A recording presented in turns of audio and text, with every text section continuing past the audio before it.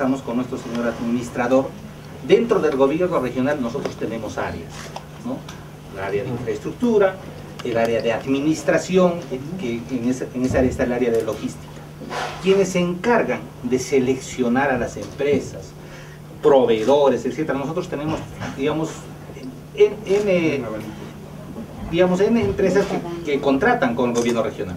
¿no? Entonces, una mayor explicación de esos hechos que han venido produci produciendo lo puede hacer el señor Pero administrador. ingeniero, ¿es sí. selección Pero, o o sea, invitación Es, en este invita caso? es invitación. Porque es diferente, porque los plazos no coincidirían en todo caso con la Así declaratoria es, de es. emergencia. Exacto. Claro, por eso, cuando es, un, cuando es una emergencia, lo que se tiene que hacer es invitar a las empresas directamente. Por eso es que nosotros pedimos esa exoneración de procesos. ¿no? Entonces, ¿cómo han hecho la invitación? Eso no conoce la gerencia general.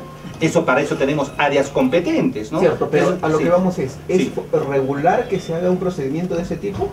Por supuesto, si estamos en una situación de emergencia, nosotros tenemos que atacar la emergencia, tiene que invi- invitar inmedi- inmediatamente y se tiene que actuar de inmediato, ¿no? Si no, ya no sería una emergencia. Pero bajo el aval de qué? Solo de la emergencia declarada por la PCM. Porque Bajo el el- acuerdo regional todavía no había sido No, no, aprobado. es que el acuerdo regional es un requisito para que se cumpla la emergencia.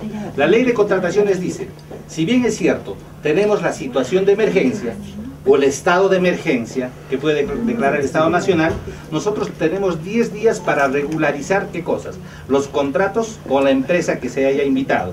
Segundo, se tenga que, eh, aparte de los contratos, la exoneración de procesos que tiene que darlo en este caso el Consejo Regional.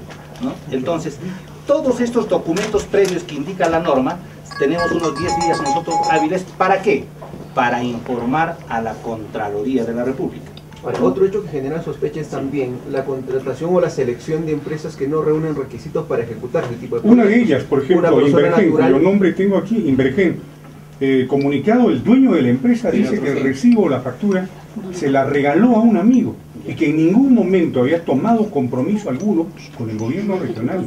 Por eso mismo, fíjense, nosotros tenemos áreas, ¿no?